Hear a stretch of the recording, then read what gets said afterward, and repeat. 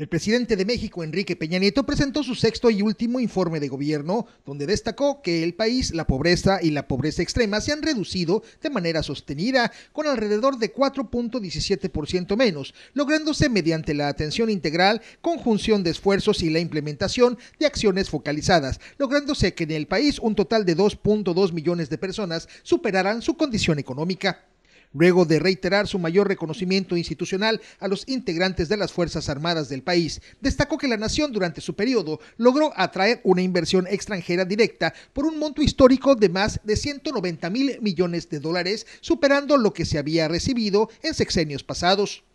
En su presentación, el presidente Enrique Peña Nieto habló de las reformas planteadas que lograron evolucionar puntos importantes que reactivaron el sentido social del país, como el hecho de la educativa, que se basó en tres pilares, la profesionalización de los maestros y su mejora magisterial a partir del mérito, la modernización de los contenidos educativos y el fortalecimiento de las escuelas, tanto en su operación como en la infraestructura.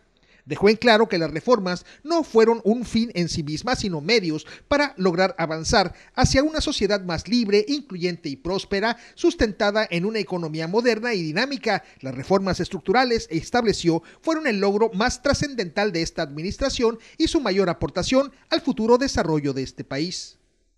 Con imágenes de Ricardo Vallejo informó para Notivisión Héctor Bello.